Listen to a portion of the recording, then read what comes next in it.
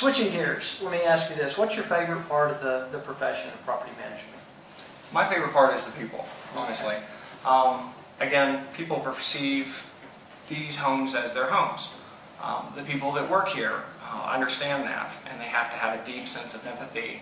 They have to have a lot of listening skills. They have to have a lot of leadership skills. Um, and this business just kind of has a way of spitting people out. They can't do those things.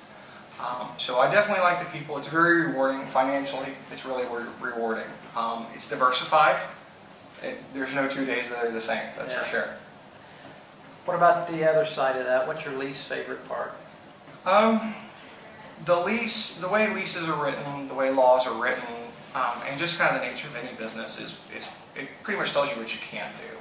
It's a bunch. It, it, there's a lot of no there, um, and people don't call you when their AC kicks on and it works, or when their toilet flushes successfully. They call you when the AC doesn't work or the toilet flushes back.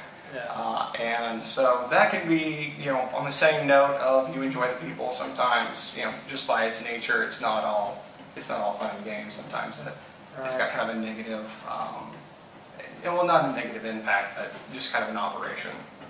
How long have you been in the industry?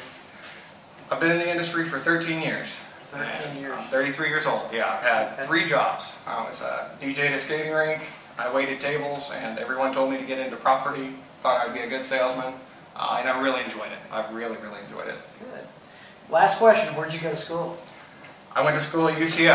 All right, go Uh, Bronchos. Go Bronchos.